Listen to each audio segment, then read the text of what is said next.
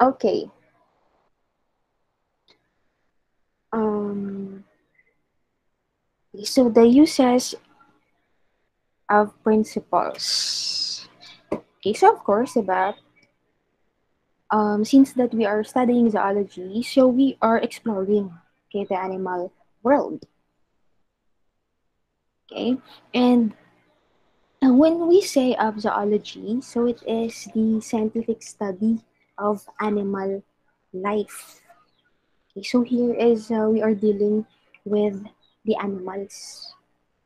Okay, their um, body plans, uh, the structure of their or, or their organ systems, um, their ways of living, okay, their process of reproduction and development.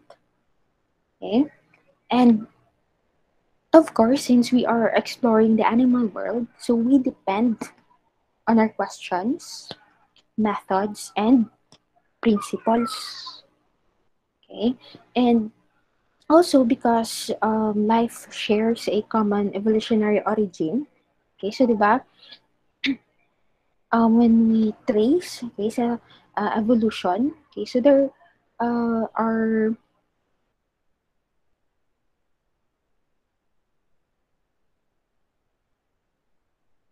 or the life, okay, simply ang life is nag-share siya with a common evolutionary origin. Okay, so that is why when we study one group of um, animals here in zoology, sometimes is um, we apply okay, that um, insights or principles into other groups as well.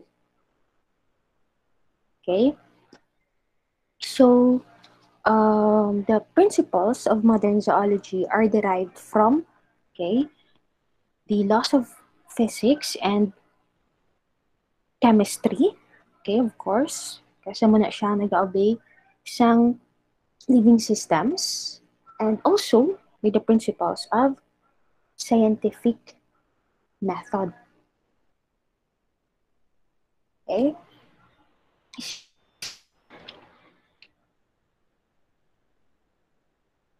Okay, so since that we are studying the um, uh, animal life, okay, so of course, ang mga zoologists, okay, so when we say of zoologists, so mo siya ang mga nag-study sa zoology. Okay, so ang mga zoologists, subong, so um, they were able to solve the mysteries of uh, of animal life by using advanced methods of technology. Okay, Miss Geseta, okay, you raised your hand. Is there a question?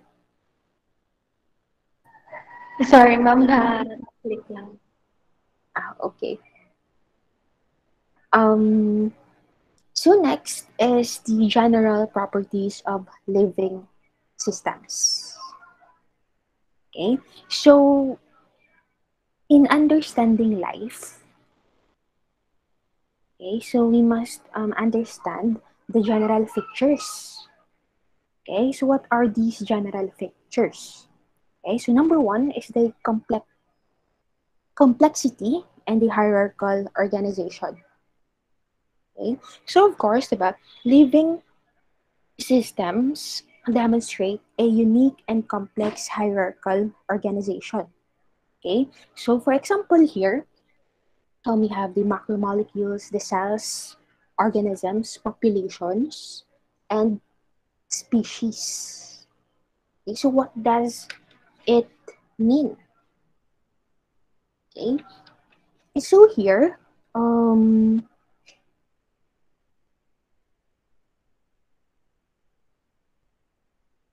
so each level yun eh, is composed yun eh, ang level okay, below sa iya. So, for example, is the macromolecules. So, di ba? For example, sa mga macromolecules, the ribosomes, the chromosomes, the membranes inside the cell. Okay? And these macromolecules, they combine to form a cell. Okay? And um, this cell okay, is the smallest unit of biological hierarchy. Okay, so ang cell nga na is gi-perform na siya sang functions. Okay? And if makombine siya ang mga cells nga ni, so they will result into an uh, into a tissue um, organ, okay, organ system, and organisms.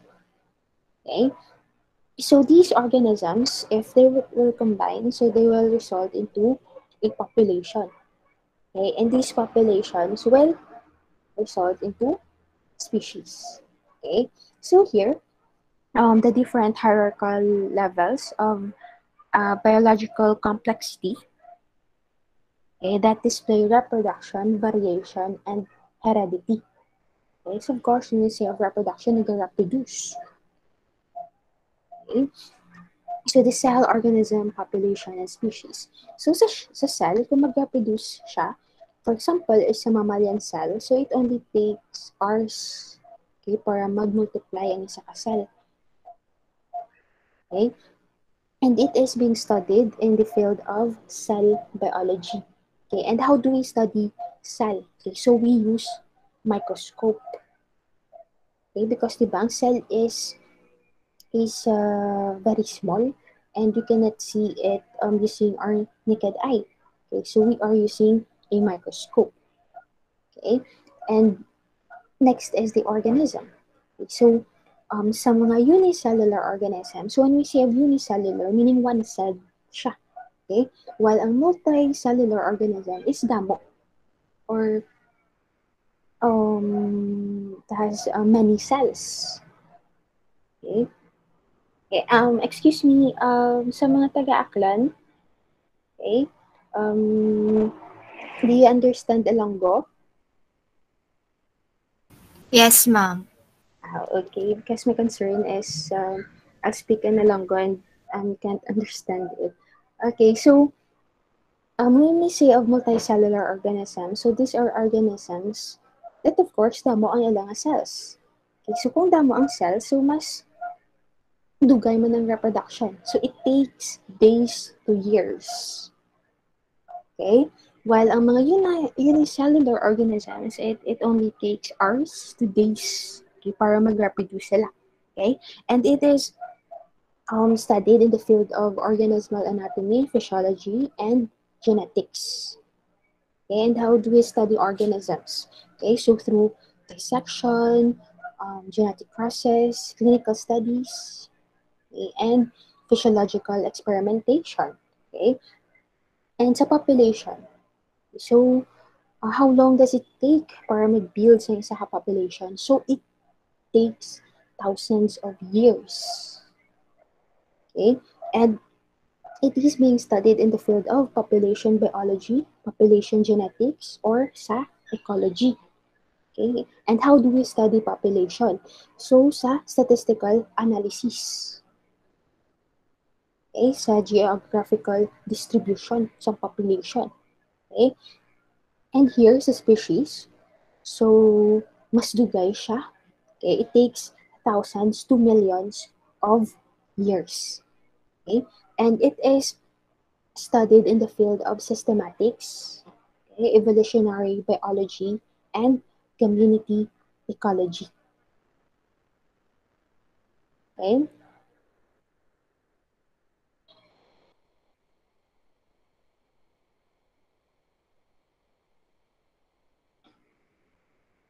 Okay, so next is the metabolism. Okay, so any idea, okay, what's metabolism? Okay, so may idea ka mo if what's metabolism?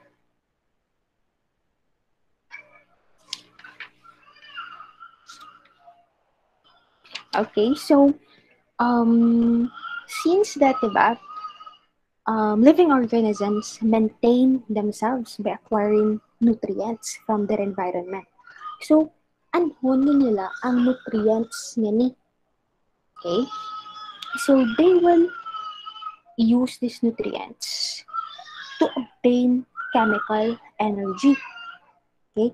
And also, um, aside from obtaining chemical energy, they will also use these nutrients to um, build molecular components. Okay, that is necessary in maintaining a living system.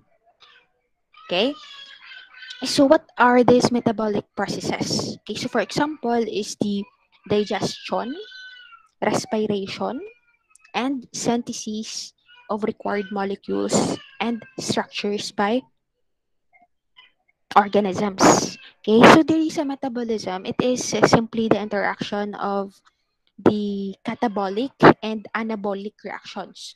So when we say of catabolic reactions, sa muna siya mga destructive reactions.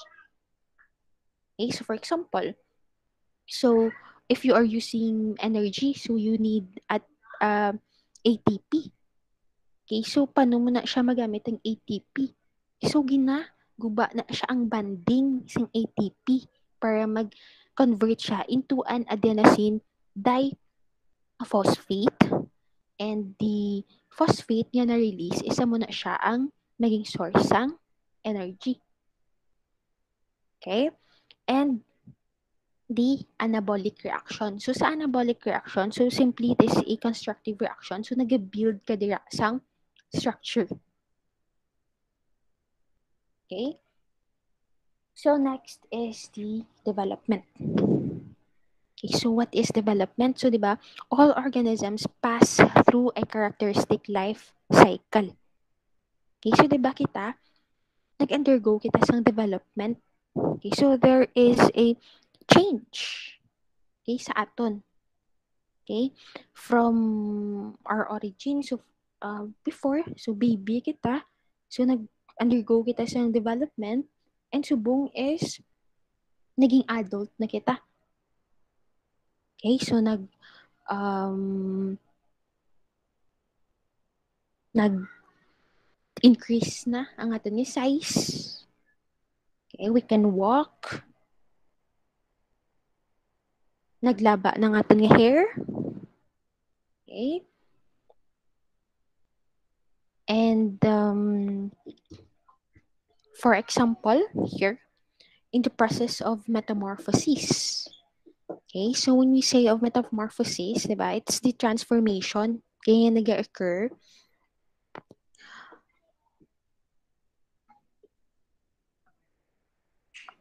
For example, okay, sa mga butterflies. Okay, so from their uh, egg stage, okay, so ma-transform siya into a um, larva, and then pupa, and into an adult stage. Okay, so there's a series of development nga natabo. Okay. So next is the environmental interactions. Okay, so all animals interact with their environments. Okay, so for example, kita, okay, so diba nag-interact kita with our environment. So hindi pwede na na um, wala kita sa interaction okay, with the um, animals and other organisms that is present in our, in our environment. Okay, so ecology. Okay, so when we say of ecology, it is the um, study of organismal interaction with an environment. Okay, so diri is ginastudihan naton if paano na siya mag-react ang isa ka organism okay, sa isa ka environmental stimuli. Okay, na property called irritability. Okay, so for example, if nainitan ka mo, okay, so di ba kung nag nainitan kita is naga-sweat kita, nagapalamalhas kita. Okay? And anong ang aton ginaobra? So of course, is nagapangita kita sang ways para makuha na siya ang ang init nga na feel naton so nagapaligo kita nagapa-under ka mo sa aircon nagapamaypay ka mo. Okay? Um excuse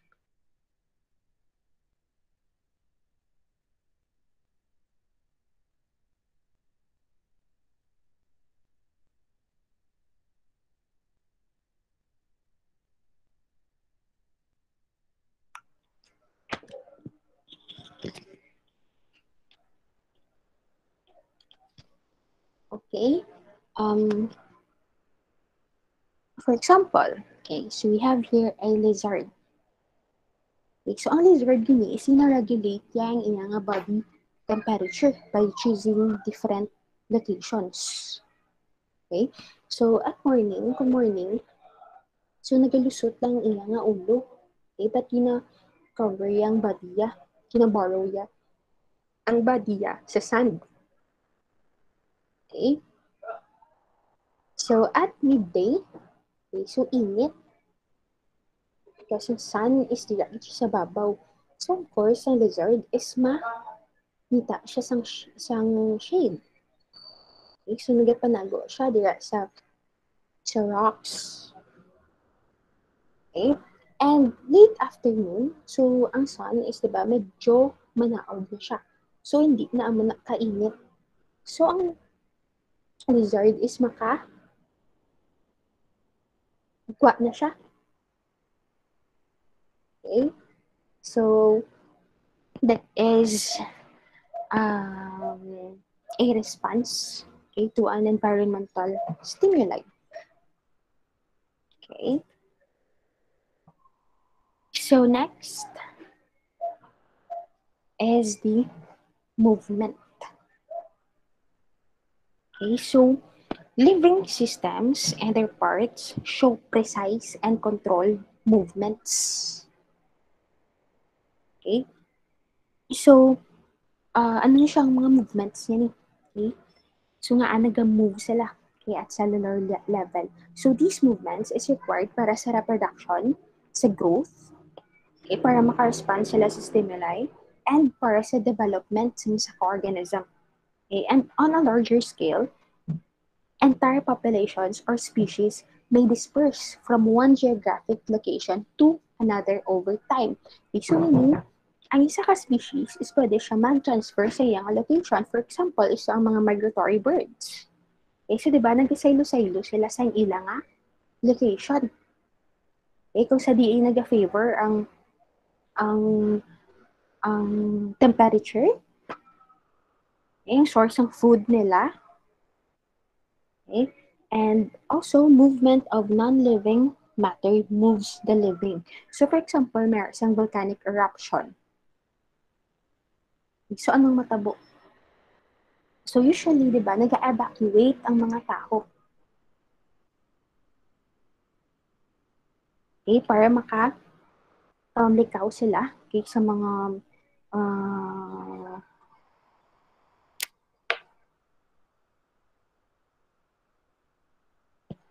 okay, so para makalikaw sila from accidents. Okay? So next is uh, zoology as a part of biology.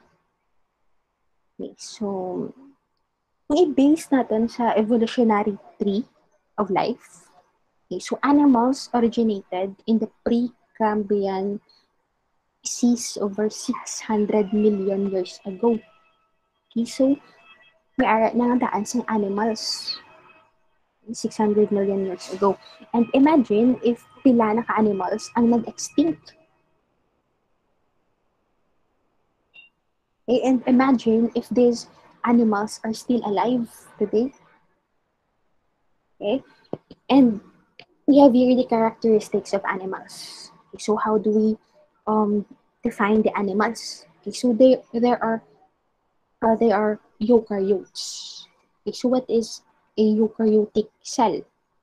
Okay, so kung kita sa eukaryotic cells, so it contain membrane-enclosed nuclei. Okay, so muna siyang eukaryotic cell. And also, animals are heterotrophs. Okay? So when we say of heterotrophs, meaning hindi nila or they, they cannot or they are not capable of directly manufacturing their own food. Okay, so nag-rely kita with our external food sources. Okay, so um, ang mga plants ya, okay, so they are autotrophs. Okay, because they can manufacture their own food. Diba? Nag-undergo sila sang photosynthesis. Okay? And nag um, himo sila sang um, glucose. Okay, while kita, kaya mga animals, so we are heterotrophs. Eh, hindi naton kaya mag-undergo sa photosynthesis. And nagakwa kita sa food naton okay, from other organisms or sa ating environment. Okay, so nagakaon kita sa plants and other animals. Okay, and also, animals or animal cells lack cell walls. Okay, so sa mga plant cells, so mayroon sila sang rigid nga cell wall. Okay? So, ang animal cell ya is wala siya. Isang cell wall. Okay? And next, here's the principles of science. Okay? The scientific method. Isa na ni siya yung scientific method. So you have here the summarized series of steps ng scientific method. So observation, question, hypothesis formation, empirical test or ang experiment, the conclusion, and publication. So for example, so how do we apply the scientific method? So for example, kamo, um, may na-observe ka mo, say nga, um, certain happenings that is uh, uh, para sa inyo is um, it is uh,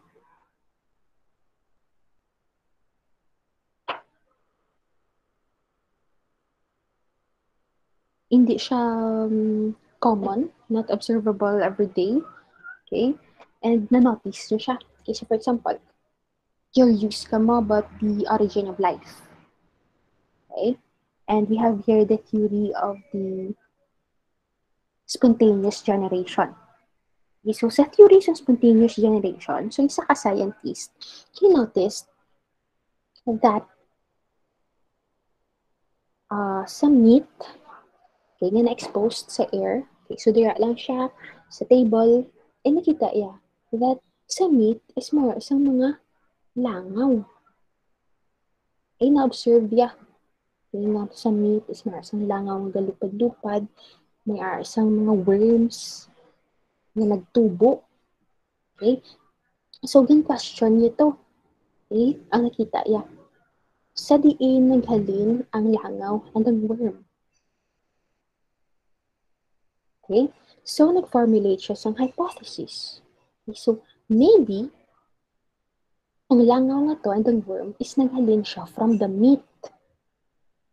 Okay? So, meaning, the um, origin of life is from a non-living thing. Okay, so naghalin ng life from a non-living thing. So, amo na ang teorya. So, of course, he will test his hypothesis. Okay, so may ara ka na isang setups dira. So, you have to make a setup. So, sa test group mo, okay, so dapat may ka dira isang meat na exposed lang sa air na asang meat na din cover mo. Okay? So, na-notice ang scientist that ang meat na may cover is wala sang worm and wala man sang fly, wala sang langaw. Okay? But, ang wala sang cover, so may ara siya gyapon sang langaw and worm. Okay? So, because of that, nag-conclude siya na that sala ang iya nga hypothesis that ang isa ka non-living or ang isa ka living thing is nagalin siya from non-living. So, i-reject ya ang iya nga hypothesis. Maybe because sala to siya. Maybe because naging test ya ang iyang hypothesis, wala man sa may nagtubo na o wala man sang may nag-appear nga worm and fly sa meat na may cover. Okay, so, gin-reject ya ang iya nga hypothesis. Okay, so mo siya ang process sang scientific method. Okay, so nag-observe kita, nag-formulate kita sa question, nagahimo kita sa hypothesis naton, and it-test na siya naton ng aton hypothesis. Okay, and Through this experimentation, so we can accept or reject our hypothesis. Okay, so gets? Any question so far?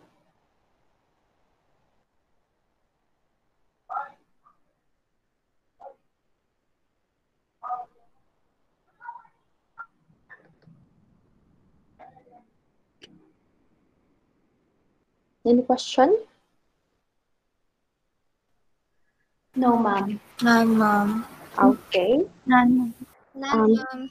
So we will proceed with our next topic. Okay. The principles of development.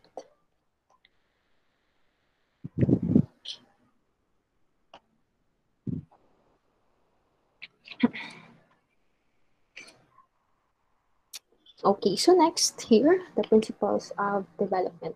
So we have here the early concepts. Okay, the preformation versus the epigenesis. Okay, so before, di ba, um, ang mga scientists, mga philosophers, so they are curious about the origin of life. Okay? So, damo sila sang questions. Okay, kung paano kita nag-form as humans, kung paano siya nag-form ang mga animals. Okay, paano nag-develop ang isa ka zygote into an animal. Okay? So, because of that, meron kita sang theory of preformation. Okay? So, theory of preformation is an idea that the egg or sperm contains an embryo. Okay? Or simply a miniature infant or what we call the homunculus. Okay, so here, doon mo na siya ang ilang theory. So, sa preformation, ang idea nila ay sa sa sperm or sa egg, may ara na nadaan sang miniature, okay, sang gamay nga taho, okay, nga infant. And later on, amo na siya ang madako okay, during the process of development. So, amo na siya ang theory of preformation. Okay, nga mayroon na nga daan sa miniature infant inside a, an egg or sperm. Okay? However, Okay, so si Caspar Friedrich Wolf, okay, so he is a German embryologist. Okay, and gin-demonstrate niya clearly okay, ang developmental stages sang chickens. And nakita niya na wala sang preformed individual, wala sang miniature adult sa sulod sang egg or sang sperm. Okay? But ang nakita niya sa egg, sang chick, is there is an undifferentiated granular material. Kaya mo na ang pag-describe niya, may ara isang mga granular material na na-arrange into layers. And these layers, um, through the process of development, nag-thicken siya, nag-thin, and then nag-fold siya, and later on, amo na siya maproduce ang embryo. Okay? So because of that, amo na na siya ang theory of epigenesis. Wherein, hambal ni ni, ni Wolf. Okay? So, ang fertilized egg, isa mo na siya, nag-contain sa building materials. Okay? And ang building materials niya na, later on, is masambol lang siya by an unknown directing force. Okay? And ang building materials niya na, Okay? So, mo na siya ang ma-differentiate and ma-develop okay, into a zygote. Okay, so that is the theory of preformation and epigenesis. Okay? So next here, the key events in development. So what is development? So when we say of development, it is the progressive changes in an individual from its earliest beginnings through maturity. Okay, so diba, i-relate natin sa isa ka flower. Okay, so before is seed pa lang siya. Then plant mo siya. And later on is nag-develop siya. Okay, nag-amat-amat siya dako. Okay, and nag reach siya ang matur- maturity ya, nag-bloom siya into a flower. Okay, so it is the same with us humans. So, nag-develop kita. Okay, from uh, the zygote. Okay, so, ang zygote nga na, di ba, is cell pa lang na siya. Okay, and then later on, is ma-undergo siya sa series of development until na ma-form siya sa embryo. Okay, so imagine kung ano ka-delicate ang process niya na okay, para ma-form kita. Okay, paano nila nabalaan nga ang kamot is dira na siya ma-form, ang eyes na ton is dira sa ulo. Okay, ang tiil is dapat sa dalom. Okay, paano mabalaan nga dapat two pairs ang eyes? I mean, one pair sang eyes. Okay, meron kita sang ears. Okay. So here, so these are the key events in development. Okay, so first is the gamete formation. So of course, dapat ang sperm and ang egg is ma-form siya. Okay, ma-form siya and ma-mature. Okay? And through the process of uh, fertilization, okay, so ang egg and sperm yan eh, so ma-fuse siya. Okay? So, ma-unite na siya ang male and the female gametes. Okay? Para mag-form sa zygote. Okay? And then, the, after sa fertilization is ang cleavage. Okay? So, ang zygote niya na is ma-subdivide na siya. Okay? So, di ba, una is cell siya. Then, ma-subdivide na siya para mag-produce ang thousands of cells. Okay? And there's a formation of blastomeres. Okay? Isang blastula. Okay? And later on, this blastula was, will undergo gastrulation. Okay? So, there is a gastrulation. There is a formation of germ layers. Okay? So, the endoderm, the mesoderm, and the ectoderm. Okay? So, ang mesoderm, ectoderm, and uh, endoderm later on, isa mo na siya ang ma-form sa mga organs naton. Okay? So, so for example, ang, ang ectoderm, so amo na siya ang ma-form sa aton na um, sa aton uh, spinal cord, sa aton skin. Okay? So, um, may sang fate kay ang mga cells. Okay? So, diri sa organogenesis, so of course, the formation of the organs. Okay, so ma-interact na to siya ang mga cells nga ni ang mga germ layers nga to ma-interact sila and ma-differentiate sila para ma-form sila sang aton nga organs. Okay? And these organs will increase in size. Okay? So, meron sang growth. Okay, so that is the events in the development. Okay, so um, next, so specialization of cell types occurs as a hierarchy of developmental decisions. Okay, so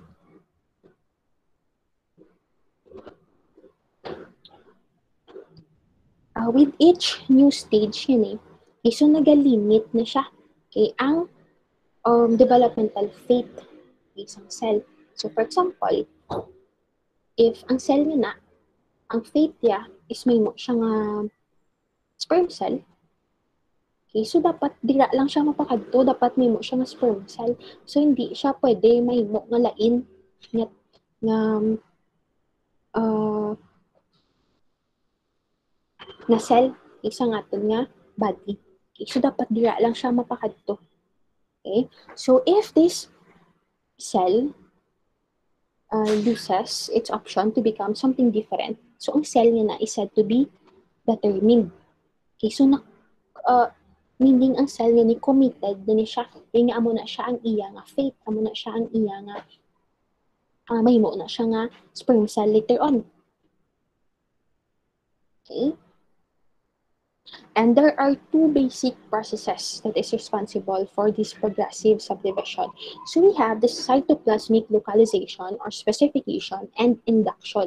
So when we say of cytoplasmic localization or specification, so ang mga molecules, there are cytoplasm sang cell, so muna siya ang nag-determine sang fate kay sa cell.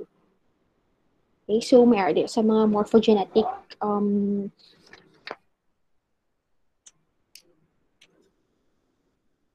materials. Okay? And diri sa induction naman is amo na siyang interaction sa mga cells. Okay, so nag-interact ang mga neighboring cells. Okay? And gina-influence nila ang mga neighboring cells nila, nila okay, na amo na siyang i-form nila later on. Okay? So next here, the process of fertilization. Okay, so fertilization is the initial event in development in sexual reproduction. Di ba kung alin sa elementary when we say fertilization, simply it's the union of the male and female gametes. Okay, basta mag-unite ang sperm cell and ang egg cell. Okay? And there is fertilization. Okay? It accomplishes two things. Okay, dapat is there's a recombination uh, between the paternal and the maternal cells. Okay, di ba? Ang pronucleus from the male gametes and ang pronucleus from the female gametes sumayunite siya para mag-form sila sa diploid number. Okay, so sa process sang meiosis. Okay, so 'di ba ang Kasi ang mga gamit is haploid siya. Okay, so nag-restore siya there sa fertilization. Okay, so para maging diploid ang iyang number. So, fertilization activates the egg. Okay, so dina-activate yun yung egg para mag-start ang process ng development. Okay? So, um, we have here the oocyte maturation or the oogenesis. So, kung magambal kita, case oogenesis, so it is the process uh, of uh, development of an ovum. Okay, so gina-prepare ang egg cell okay, para maging ready siya later on kung i-fertilize na siya. Okay, so ang egg, ang egg cell, okay, so mas dako na siya compared sa sperm cell because nag-accumulate siya sa yolk Okay? And ang yolk na nag-contain siya sa messenger RNA, isang ribosome, sa transfer RNA, and other proteins. Okay? And amo na siya later on ang masupply sa nutrients okay, sa egg. Okay, so necessary na siya para sa development. And also, ang egg, so nag-contain siya sa morphogenetic determinants. Okay? So, ang morphogenetic um, determinants nila is um, necessary okay, for the activation and repression sa mga specific genes okay, later sa development. Okay? And ang egg niya na, okay, so nag-grow na siya. Ang nucleus, mean, ang egg, is nag-grow siya and nagadamo ang iyang RNA. Okay, na mo na siya ginatawag natin nga germinal vesicle. Okay. So most of these preparations in the egg occur during the prolonged prophase 1. Okay, so sa aton, okay, sa mammals. Okay, so pag bata sa aton, so nag-stop na siya sa prophase 1. Ang oocyte maturation and dugay-dugay na siya. Okay, ma-proceed uh, I mean, ma-continue lang na siya if mag, uh, mayroon na siyang ovulation. Okay, so mag-puberty. Okay? So, uh, after isang maturation, yun isang course, ang oocyte is highly structured na siya. So ready na siya. Mayroon na siya sang uh, nutritional requirements Okay? Na if i-fertilize na siya, okay, so kaya yun na uh, mag-supply okay, sa nutrients para sa embryo. Okay? And after meiosis resumes, so ang egg is ready na siya para mag-fuse with the nucleus of the sperm. Okay? So next here is the fertilization and activation. Okay, so um, sa fertilization and activation, usually, um, ang kinastadihan gid ng animal is ang mga marine invertebrates. So specifically is ang mga sea urchin. Okay, because sa mga sea urchin is damo nga eggs and sperm ang ginaproduce nila sa water. Okay, so mas sa po siya i i-combine okay, sa laboratory para kag istadihan. But sa mga mammals, okay, so ang mga scientists is nag-study sila using um, sperm and eggs sa mga mice, mga hamsters, and rabbits. Okay? So, mga galagmay lang ang mga mammals. Okay? See here, okay, so I know, familiar mo kama with sa sea urchin. So, ano siya, okay, ang tsura sa mga sea urchin, is sumar siya sa mga tunok-tunok. Okay? And next here, contact between sperm and egg. Okay, so ang mga, di ba, ang mga searchan yan eh. So, ang fertilization nila is external. Meaning, sagwa sa nila nga body. So, ang kinobra nila is nag-release lang sila sang sperm dira sa body sa water and may ma-release lang man sang egg. Okay, dira sa water. But, uh, ang mga eggs nga ni, so ang concern naton is dapat ma-secure naton nga ang sperm is ma-attract siya sa egg. Okay? So, ang egg is nag-release siya sa chemotactic factor. Okay? And then, chemotactic factor niya na, isa mo na siya ang ma-attract sa sperm pakadto sa egg. And this is species specific. Meaning, ang sea urchin, para lang siya sa sea urchin. Na. So, hindi pwede nga ma-attract siya ang sperm sang isda sa egg sang sea urchin. Okay?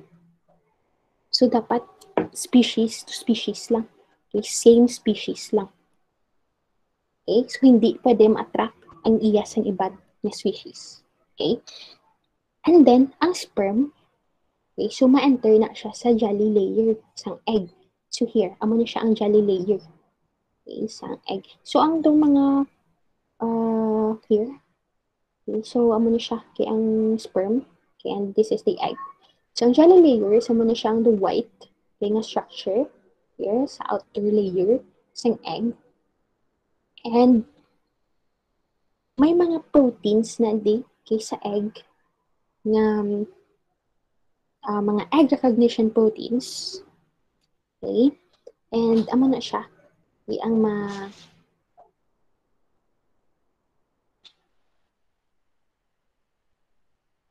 I mean, ang egg recognition proteins is dira siya. Okay? Sa may sperm. Okay? So,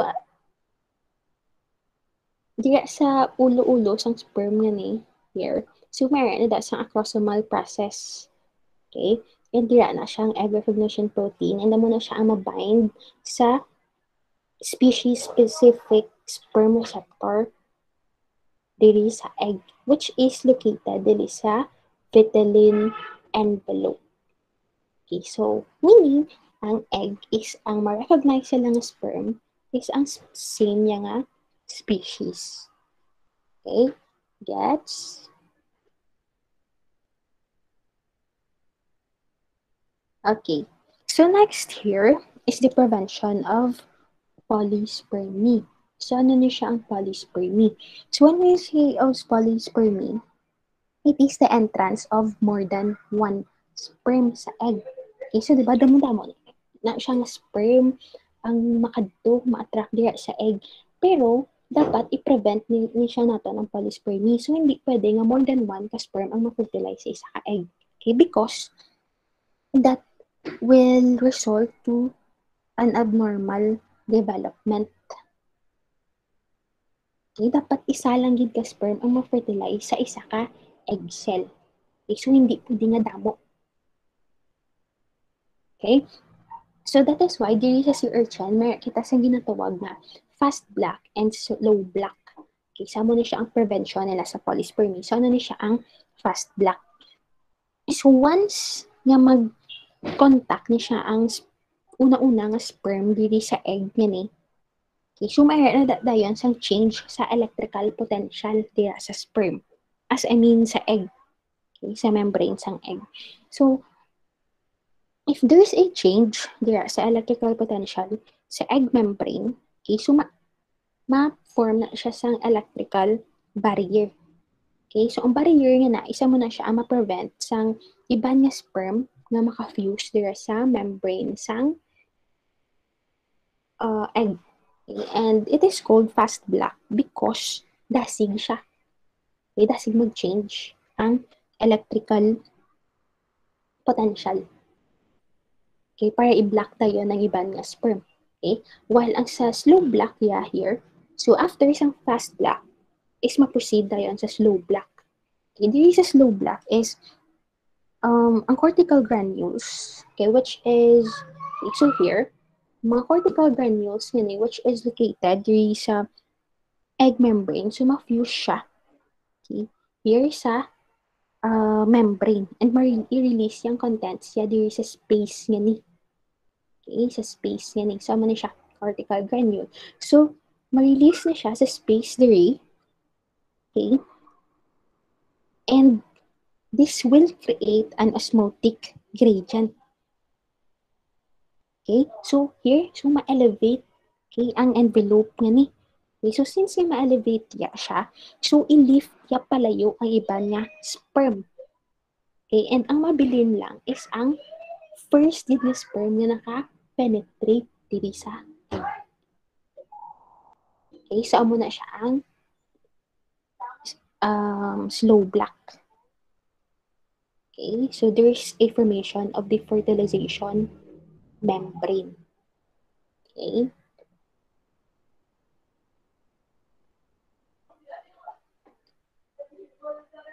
Okay, so here, so here, nakita sa fertilization membrane. So if there is a fertilization membrane, so ma-black ng polyspermy. So, hindi na makapenetrate ang iba nga sperm sa egg.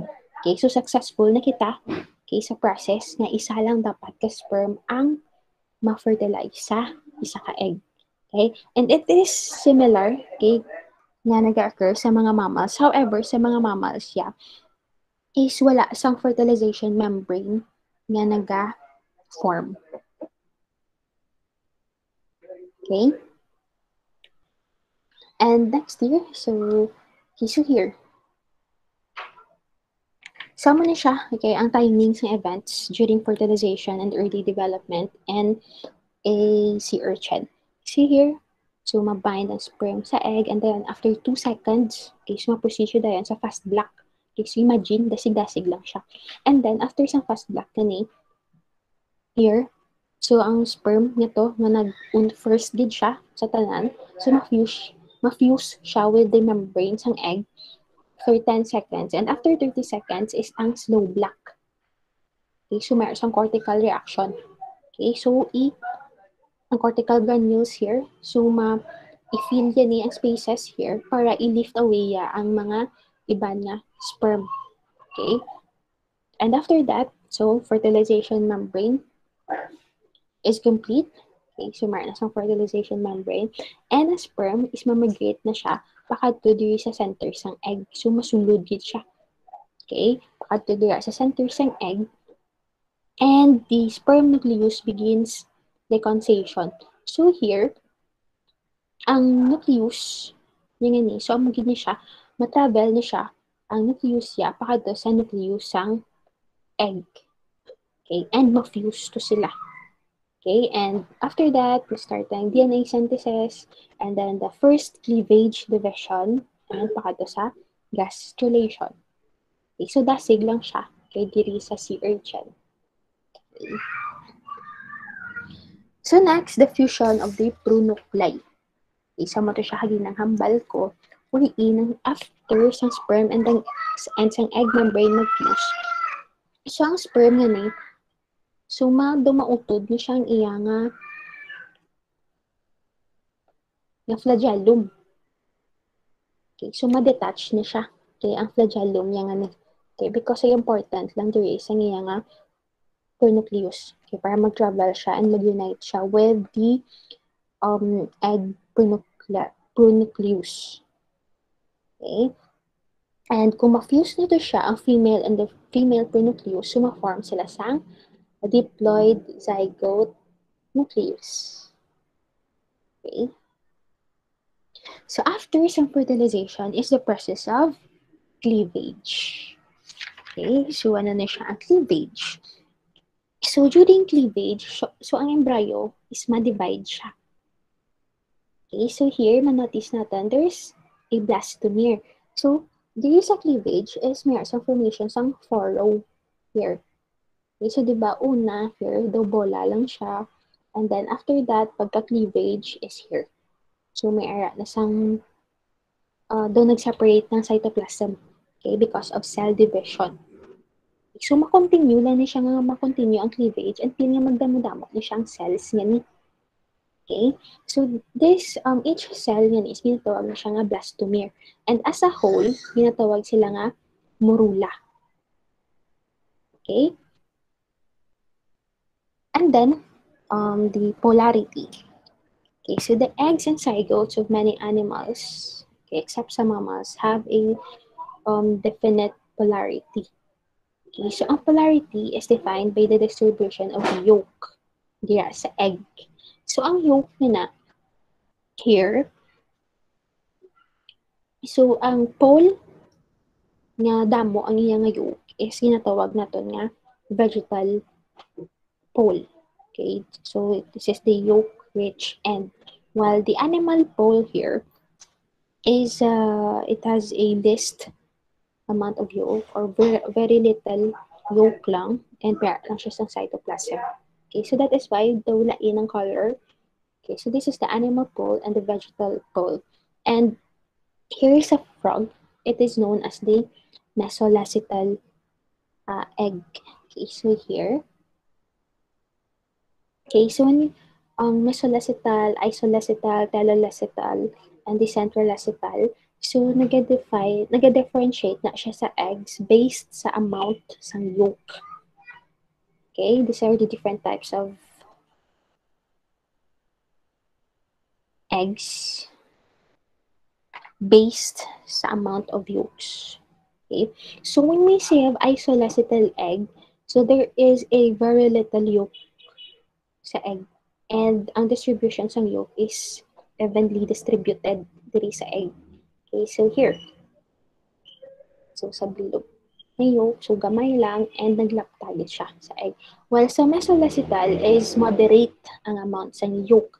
And, however, concentrated siya diri sa vegetal pole. Okay, diri sa dalom. Okay. While sa telolacetal is there is lots of yolk. Okay, so damo-damo siya sa yolk. Okay, while um, sa central acetal, so ang yolk yeah, is damo and it is located centrally. So sa tunga siya. Okay, so ano na siya? Ang role sa yolk there sa cleavage. So di ba ang yolk is mo na siya ma-supply sa nutrients. But ang yolk nun eh is um, a mixture of proteins. So dense siya. Okay? Meaning, sa process ng cleavage, budlay siya. I cleave. Okay, or budlay mag-form ang furrow if damo isang yolk. So that is why, manotice ninyo, diri sa C-star, di ba, isolacetal egg siya. And gamay lang yolk ya. And evenly distributed ang yolk. So masapos mag-cleave. Masapos ang cleavage. Okay? So here, nag-cleave siya kaysa bilog nga egg. Okay? And here sa masolacetal, manotice natin that uh, moderate lang ang amount ng yolk but concentrated siya dito sa vegetal pole but um, since nagamay lang ang amount of yolk dito sa animal pole here, so um, hapos lang i-cleave ang di sa animal pole nga part. There sa vegetal pole is medyo budlay siya. So, formation sang furrow. Okay? While there is a telolacetal, since there are, uh, there is uh, lots of uh, yolk sa egg, so here, so notice that budlay ang cleavage. Okay? So, i-compare mo here. So, diri is wala siya nag-cleave sang mayo because buntay i-cleave na siyang telacethyl egg because of the amount of yolk na damo. Okay? So, may question so far?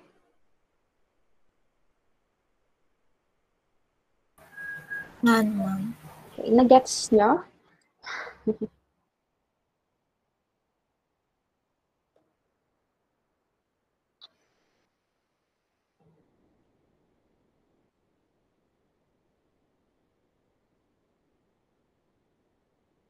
Okay, so cleavage in frogs. Okay, so ang cleavage theory sa frogs is usually nag-follow siya sa specific pattern. Okay, that is relative to the animal and vegetal poles of the zygote. So here, muna siyang zygote, diba? And this is the animal pole and the vegetal pole. So ang cleavage, of course, is dirigid siya. Okay, nag-form sa animal pole. Okay, nga gamay lang ang yolk dira. Okay, so may mga siya nga two-celled um, cell, and then ang tunga na may mga 4, 4, and then may 8 siya, 8, um, 16, until nga may formations ng thousands of cells. Okay?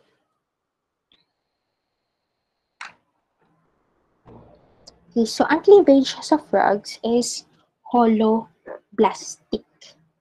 Okay, so ano na siya ang holoblastic cleavage and ang cleavage sa birds is the meroblastic cleavage. So, kung magamba kita sa holoblastic cleavage, so for example here, sa sa sea star and sa frog, diba, isolacetal egg and the mesolacetal egg. So, complete ang iya nga cleavage. Okay, so here, diba, na-complete niya cleavage. Unlike here, for example, sa birds, meroblastic ay yung cleavage. Okay, incomplete. Okay, because damo ang amount sang yolkya diri sa um sa yung um, vegetal pole. So, muday siya i-cleave. Okay, so that is why meroblastic. So meaning, this um, isolacetal egg and mesolacetal egg, ang iyang cleavage is holoblastic, while ang telolacetal egg, ang iyang cleavage is meroblastic. Okay, incomplete and complete division. Okay, so next here, the direct versus indirect development. So, ano na siya? Okay, so, um, di ba, ang function ng yolk is, ano siyang source of nutrients ng embryo. Okay? So, if damo na yolk ang present, for example, sa telolacetal egg, so ang youngs is nag-exhibit siya sa direct development. Okay? Meaning, ang itsura sa iyang um, embryo is the miniature adult siya.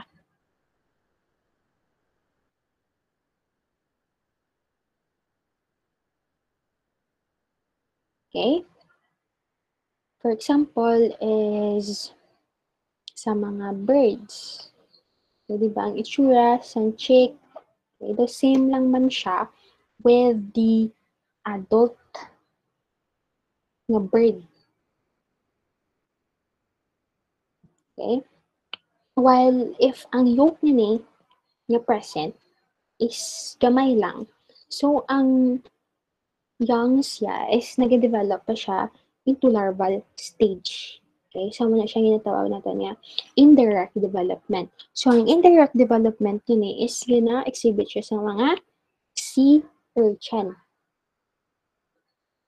Okay? Because meron pa siya sa larval form niya, then a free-swimming larva, and then ma-metamorph ma-metamorphosis siya and ma-transform siya into an adult sea urchin. Okay? So that's the difference between the direct and the indirect development. So kita sa mammals, okay, so gamay lang yolk naton, but ang nutrients or nourishment naton is nagalin siya from or naga uh, agi siya via placenta. Okay, di ba? May placenta kita. Okay, that is connected sa aton nga mother. Okay. So next here is the blastula. Okay, so after some cleavage is there's a formation of the blastula here, which is a hollow ball of cells. Okay, and here, so may kaara siya cavity.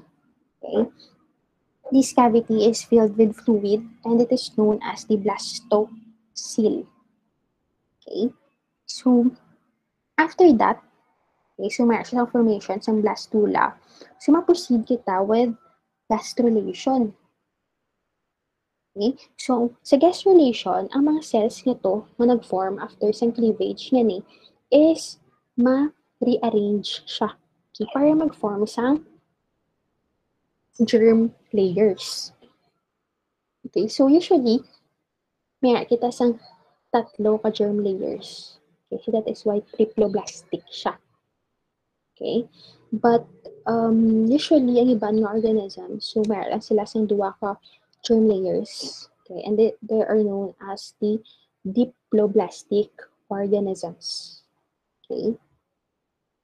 So here, so the three tissue layers produced by gastrulation. Okay, so ginatawag na to na germ layers. So these are the ectoderm, the endoderm, and the mesoderm.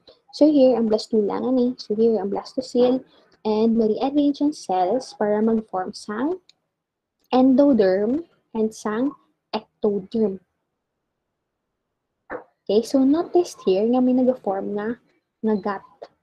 Okay, and this um, gut is mag-continue na siya form until nga mag-meet ang endoderm and ang ectoderm nga ni. So here, for example, uh, I mean here, amo ni siyang iyang itsura. So, here, nag-connect um, na na, nag-connect ng endoderm sa ectoderm. Okay, and meron na sang formation sang gut sa tunga. Okay? And after that, sa formation sa ectoderm and endoderm nga ni is the formation of the mesoderm. So, ang mesoderm nga ni, isa mo na siya ang uh, ma-feel okay, sa space between the ectoderm and the endoderm. Okay? So, may tatlo na kita ka germ layers. And sa mesoderm nga ni, is may ma-form nga silum. Okay? ang silum cavity niya ni. Okay? So, ma-form siya inside the mesoderm. Okay, sama na siyang process ang Okay, you should familiarize that because later on sa inyo nga developmental biology, so itakal nyo na siya thoroughly. Okay? And we have here the two major groups of triploblastic animals. Okay, so the protostomes and the um, deuterostomes. Okay, and i-differentiate siya natin. Okay, um, protostomes and the deuterostomes. Okay.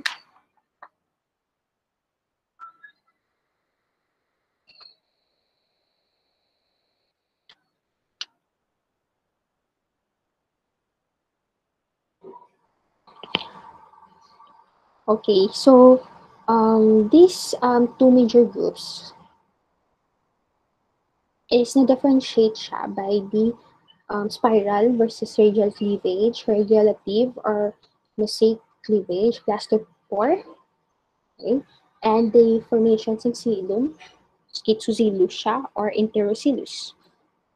Okay, here, sa deuterostomes first. So, ano na siya mga deuterostomes? So, it includes echinoderm, such as mga sea urchin, sea stars, okay, and mga chordates. So, kung magamba kita sa chordates, amo na siya mga animals na may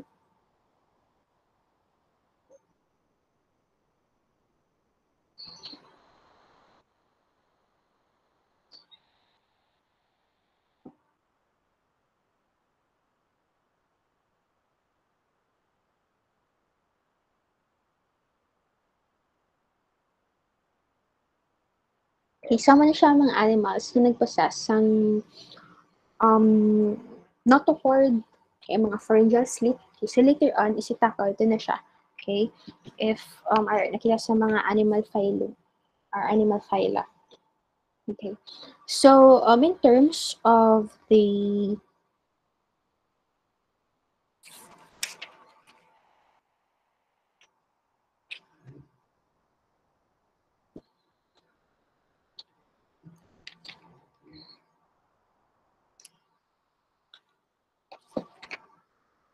uh, cleavage, okay, so ang deuterostomes siya is radial ang iyang cleavage. Okay, so ano na siya? Ang radial cleavage. So notice here, okay, sa pag-cleave, okay, isang um, zygote, okay, manotice na to, not that symmetrical ang mga planes. Okay, so here, parehas yung size. Okay, sa mga blastomere gani. Okay. And next, okay, so in terms uh, sa uh, development, sa Okay, so sa iya development, so it's regulative development. Okay, meaning, gamba kita sa regulative development. Okay, so here, for example, ang fate ng cell is nag-depend siya sa interaction sa neighboring cells. Okay, so wala siya nag-depend sa cytoplasm.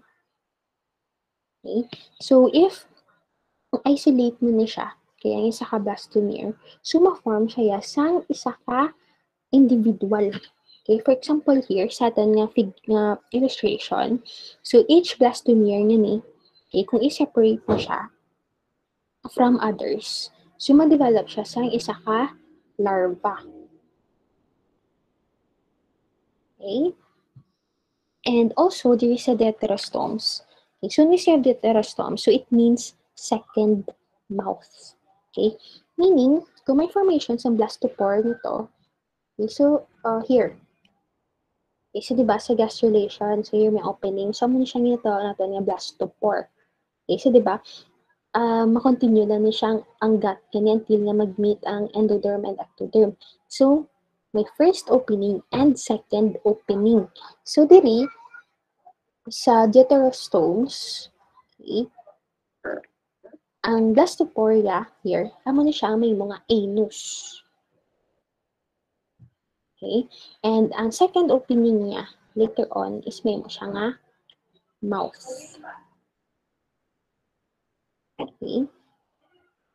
And sa silum, okay, so since nga, di ba, sa mesoderm, okay, sa sulod niya is may formation sa silum. So, dito sa deuterostomes, ang formation sa silum niya is interocili or enterosilus. Okay? Meaning, kung magamba kita sa enterocili na ni, ang silum niya here is nag-form siya by outpacketing okay, from the gut. Okay, so here, so nag-outpacket siya diri, here, okay, until na nag-form siya. Okay, sama na siya.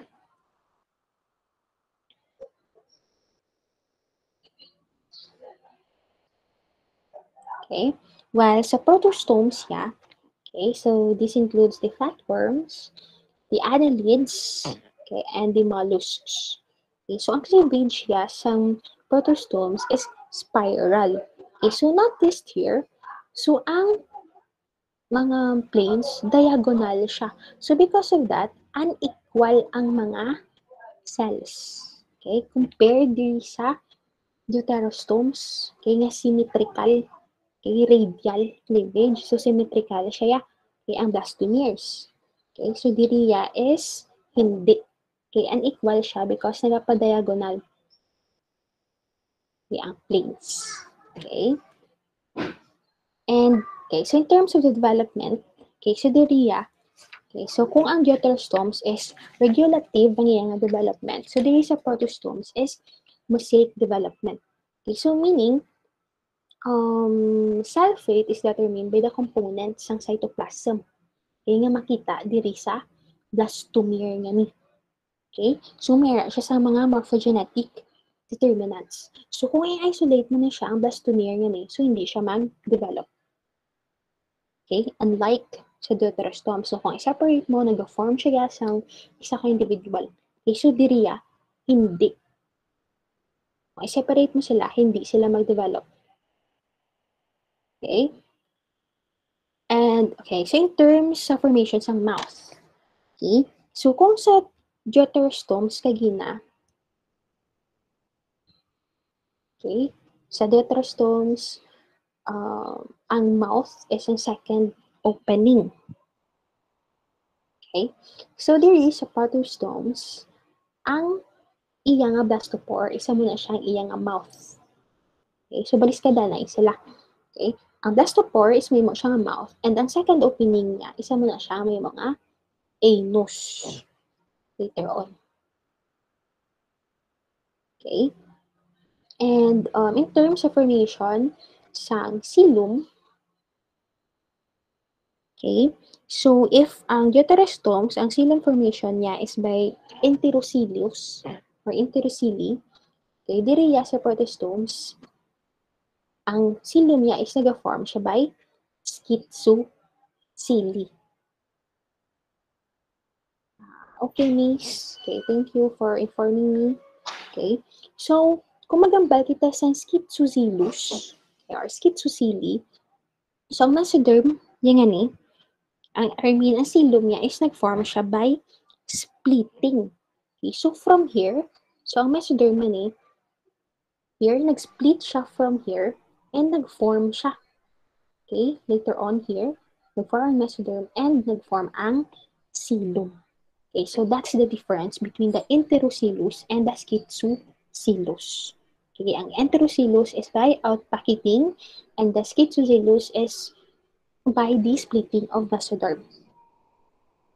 Okay, and not all protostomes have a true silum. Okay, so hindi tanan na protostomes is tuod ang ilang asilum. So may kita sa ginatawag na pseudosilumates and acylomates. Okay, so later on, okay, so i-discuss na siya natin kung ano na siya mga pseudosilumates nga na. But kung magamba kita sa pseudo, di ba? Fake siya, hindi siya tuod. Okay? So, ang um, okay lang is okay. Um, ang pseudosilumates yan eh. Okay. Um, uh, wala ko sa picture. Okay, lang. Okay, sige. Ang pseudosilumates niya eh, is um,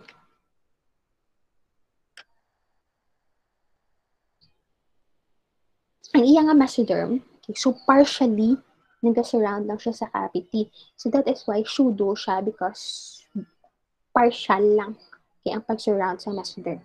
Okay, unlike sa tuod-tuod, yun nga silom na gina surround gid sa mesoderm okay, ang bilog na silom. Okay, so sa next chapter, I think, um, i-discuss naman na siya. So, mayroon na siguro some pictures. Okay? And next is the acylomates. Okay, so sa so wala gid siya sang body cavity. Okay, so mayroon lang siya sang gut, but wala sang body cavity. And i-discuss naman na siya next chapter. Okay? So, we have here the two clades of protostomes.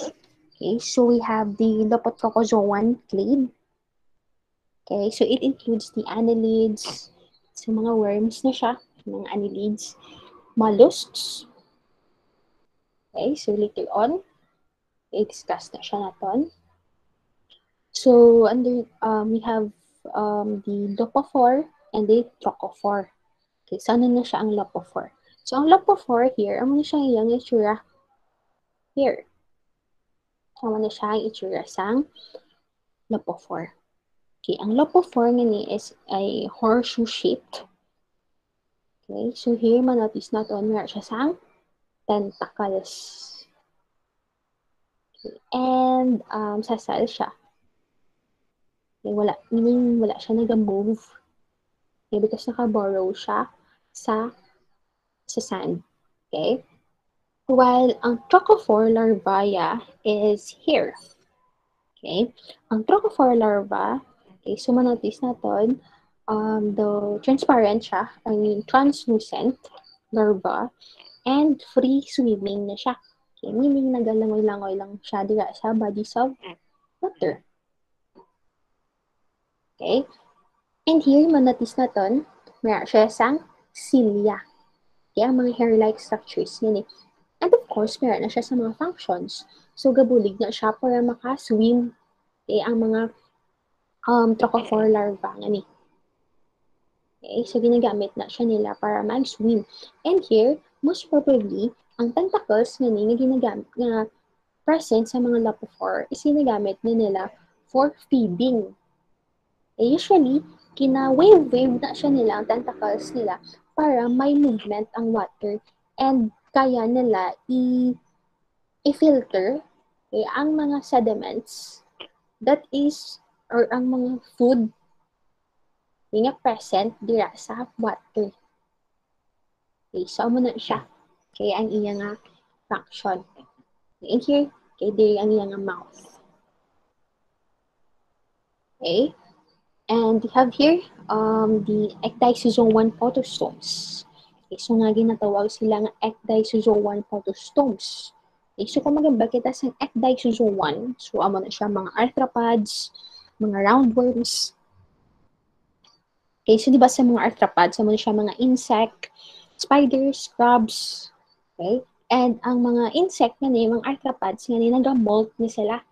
Okay, meaning, kung nag-molt sila, gina-shed nilang ilang cuticle, okay, nag-change, kaya ilang covering. Okay, so that is why ginatawag silang ecdysozoan protostomes because naga-ecdysis sila, meaning naga-shed sila sa ilang cuticle. Okay, naga-molt sila. Okay? And next is the organogenesis. Okay, so di ba organogenesis is um amo na, na siya if ang mga germ layers nito kagina ang endoderm, ectoderm and the mesoderm is ma-develop na siya into organs. Okay, during the process of organogenesis. So here, here are the different structures derived from the three embryo embryo make germ layers during the organogenesis. So, di ba?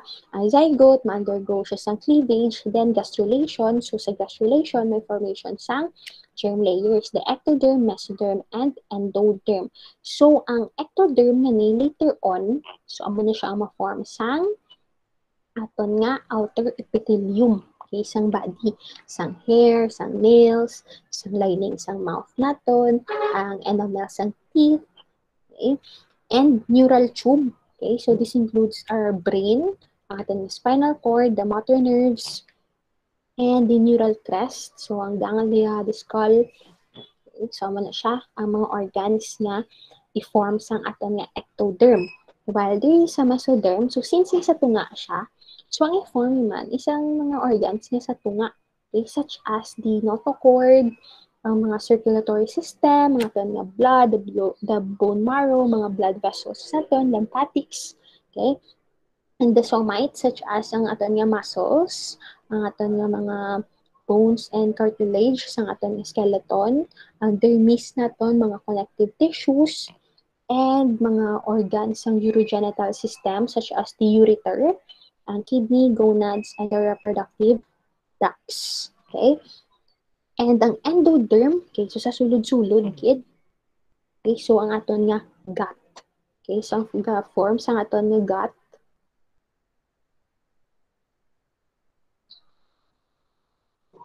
Okay, so here.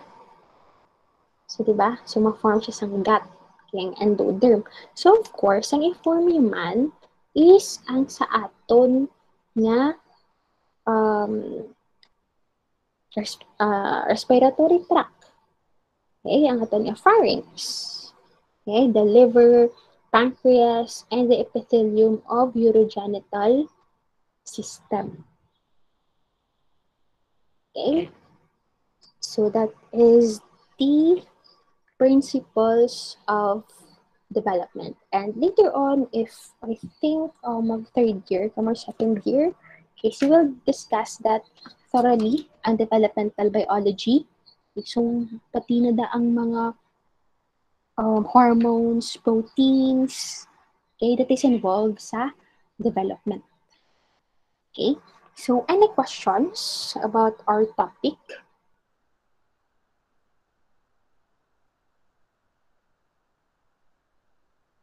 Hello? Yan, ma'am. Wala, ma'am. None, ma'am.